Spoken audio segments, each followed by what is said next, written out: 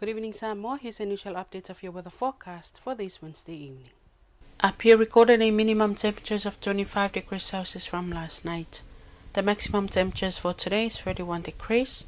However, the highest maximum temperatures was recorded from the southern side of Savaii at 34 degrees. Silent loop shows a cloud band from a trough of low pressure affecting the group. From a weather map, a weak trough of low pressure lies within Samoa's vicinity associating with clouds and brief isolated showers.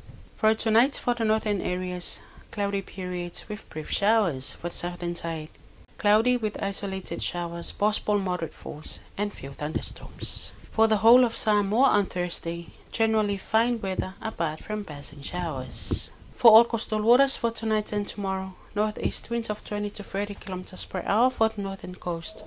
For the southern waters, easterly winds of 20 to 30 km per hour with developing combined waves and swells of 2 to 2.5 meters. And on tide table, low tide will be at 8 minutes past 1 early morning, high tide at 20 minutes past 11, low tide at 24 minutes past 1 in the afternoon, and high tide again at 17 minutes to 8. And tomorrow will also be a full moon.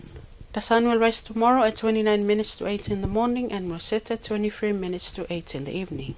And that's all from your weather team for tonight. Have a great evening.